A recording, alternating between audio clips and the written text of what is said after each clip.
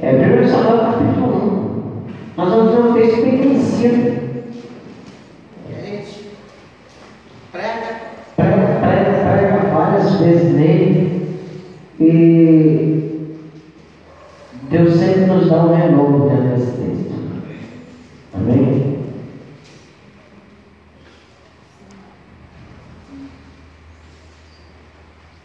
Primeiro Samuel, capítulo 1. Uma história muito conhecida, nós vamos ler apenas três versículos e nem todo. Daniel, né? primeiro eu queria que você repetisse comigo ali. Já estamos encontrando de um amém. Dá para dar um amém mais forte? Posso encontrar de amém? Fala para o Senhor assim, não deixa o tempo meio frio né, de desmotivar. Às vezes o tempo fica frio e fica todo encolhido, né? não só no corpo, como nas atitudes. Né? E a palavra de hoje, ela vai puxar atitude. Aí está escolhendo lá, tem que está escrito lá bem grande para nós. Isso, olha para o seu irmão, fala os milagres por atitude. É por isso que eu perguntei, né? Quem está feliz, alegre, está animado, hoje diga amém. Então a tua atitude, né, hoje, a tua energia, o teu, né, essa tua palavra de fé, de, de energia, de ânimo, é que vai fazer com que Deus manifeste um milagre na sua vida. Porque os milagres são provocados por Então, como o texto já disse bem conhecido, nós vamos ler apenas esses três versículos, porque conhecemos de cor salteada essa história. Não é verdade? Diz assim o nome.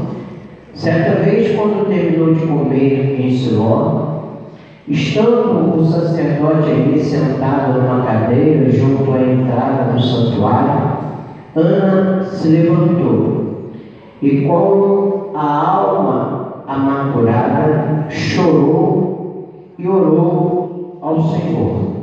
E fez um voto dizendo: Ó Senhor dos Exércitos, se tu deres atenção à humilhação da tua serva e lembrar de mim e não esquecer da tua serva, dando-lhe um filho, eu dedicarei ao Senhor por todos os dias da sua vida.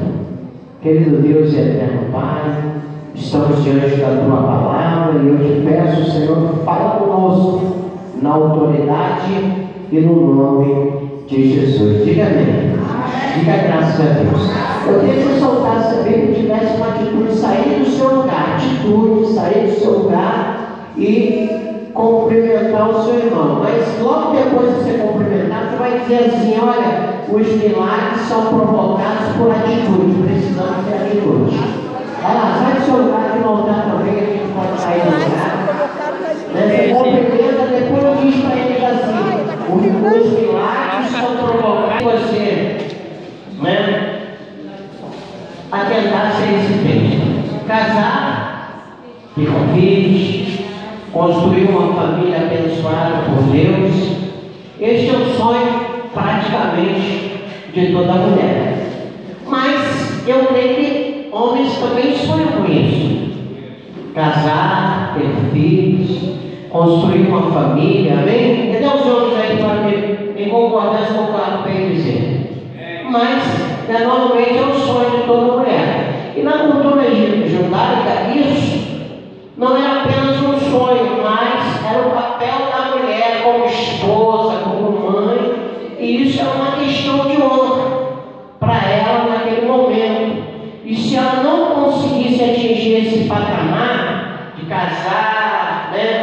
Ter filhos, construir uma família, né, ela seria considerada uma mulher fracassada naquela área.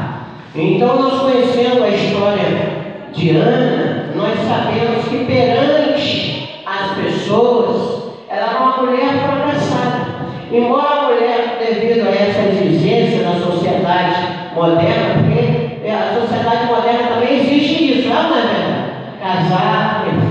construir uma família. Quando uma mulher não consegue ter filho, alguém fica lá, né? Querendo pedir filho. não deixei você se pé, né? Senta um pouquinho, questionar de hoje, né? Amém? É, essas funções é, é, diversas que a mulher tem ao, ao casar-se, né? Isso foi criado por Deus, é propósito de Deus, né? Ter filhos, casar, construir família, não só para a mulher, mas também por um Ser uma esposa exemplar, né? Eu creio que toda mulher casa pensando ser aquela boa mulher, e quando gerar filhos, ser aquela boa mãe, cuidadosa, zelosa, atenciosa, carinhosa, não só no que se diz respeito ao esposo, não só no que se diz respeito à casa, mas também aos filhos. E Ana,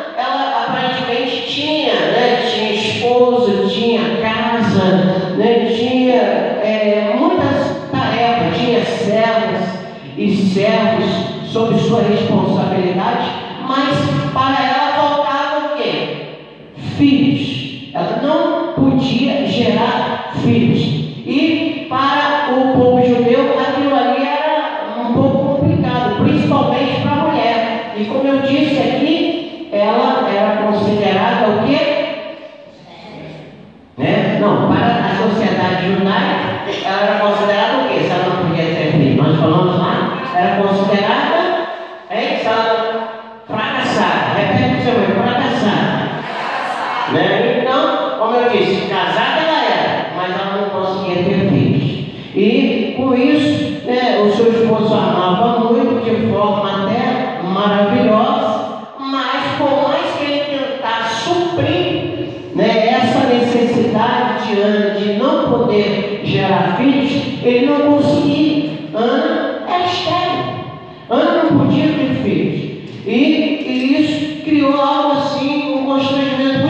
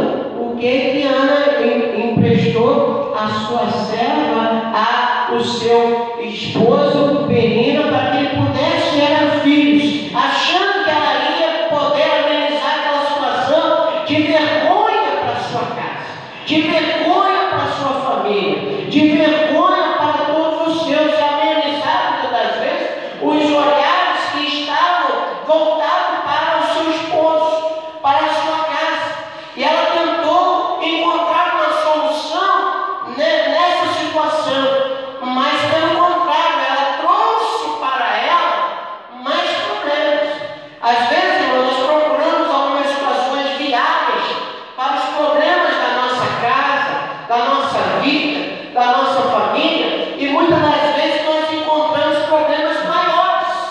O problema inicialmente era um problema de esterilidade. E agora, depois que menina pôde gerar filhos, era uma mulher fértil que podia dar quantos filhos fosse aos- a Eucana, a esposa de Ana, aquilo, cada vez que é, Penina gerava um filho, né, cada vez que ela olhava para aquela fertilidade, aquelas crianças, ela zombava de Ana. Ela esculachava no bom sentido hoje, Ana, desprezava Ana por todas essas coisas. Então a a Ana, além de ter o problema da esterilidade, que era um embaraço para o marido naquela época, para a família naquela época, e a, a lei dava direito a Eucana até se divorciar, se separar, largar a, a Ana por causa da sua esterilidade. Mas ele aguentou firme, né? ele ficou ali porque ele o amava, e a Bíblia diz que ele dava o quê? Em, em dose dupla? Porção. Ele sacrificava duas vezes por ano. Né? E Ana, né, muitas das vezes, se sentia confortada pelo esforço do seu esposo, pelo interesse do seu esposo, mas